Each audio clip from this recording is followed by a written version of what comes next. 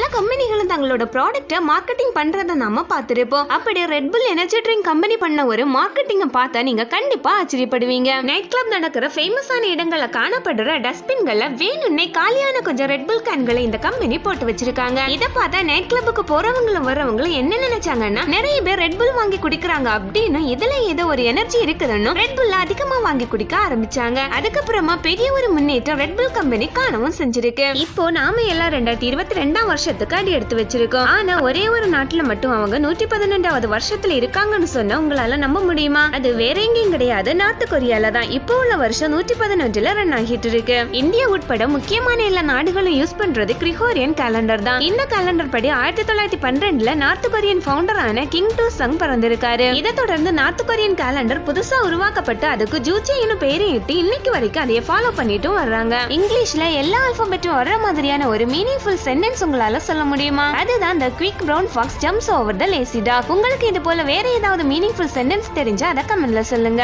இன்னைக்கு மனுஷன் ரொம்பவும் பயப்படுற ஒரு விஷயம் எதுன்னா அது கொரோனாவை பார்த்து தான் ஆனா அதை விட கொடூரமான ஒரு நோய் எதுன்னா அது ஹைச்ஐவி எய்ட்ஸ் தான். எய்ட்ஸுக்கு முழுமையான மருந்து கண்டுபிடிக்கப்படலாம் அப்படின்னாலும் கொஞ்ச நாள் கூட உயிர் வாழ்றதுக்கான மருந்துகள் தற்போது நடைமுறையில இருந்துட்டு இருக்கு. ஆனா இப்போ ஜப்பான்ல ஒரு ரிசர்ச் சென்டர்ல ஹெச்ஐவிக்கு எதிராக ஒரு வேக்சின் கண்டுபிடிச்சு அதை குரங்குகளுக்கு டெஸ்ட் பண்ணி பார்த்திருக்காங்க. அது சக்சஸ் ஆகவும் செஞ்சிருக்கு. இன்னும் அஞ்சு வருஷத்துக்குள்ளாடி இது மனிதர்களுக்கும் பரிசோதிக்கப்பட்டு வெற்றி பெறவும் வாய்ப்பு இருக்கு அப்படின்னு இந்த வேக்சினை கண்டுபிடிச்ச சயின்டிஸ்ட் சொல்லியிருக்காங்க. பல கம்பெனிகளும் அவங்களோட பிராண்ட ப்ரொமோட் பண்றதுக்காக ஒரு லோகோ வச்சிருப்பாங்க. அந்த லோகோக்கு பின்னாடி ஒரு சுவாரஸ்யமான கதையும் இருக்கு. அப்படி ஒரு கதை தான் பேஸ்புக்கு பின்னாடி ஒளிஞ்சிட்டு இருக்கு. Facebookஅ கண்டுபிடிச்ச மார்க் சுகர்பக்கு சிவப்பு மற்றும் பச்சை நிற குருடு இருந்திருக்கு. அதாவது அவரால ரெட் அண்ட் கிரீன் கலரை பார்க்க முடியாது. அது மட்டும் இல்ல அவரால கிளியரா பார்க்க முடியற கலர் எதுன்னா அது ப்ளூ கலரா இந்த ப்ளூ கலர் அவருக்கு ரொம்பவும் பிடிச்ச ஒரு கலரும் கூட அப்படின்னு ஒரு இன்டர்வியூல சொல்லியிருக்காரு. இப்படி நிறக்குருடு இருந்தாலும் மார்க் சுகர்பர்க் Facebookஅ தொடங்கும் போது அவருக்கு வெறும் பத்தொன்பது வயசு தான் அப்படிங்கறது ரொம்பவும் ஆச்சரியப்பட வேண்டிய ஒரு விஷயம் தான் இந்த ஃபேக்ட்ஸ் உங்களுக்கு பிடிச்சிருந்தா மறக்காம ஒரு லைக் போட்டுட்டு நம்ம சேனலை சப்ஸ்கிரைபும் பண்ணிக்கோங்க.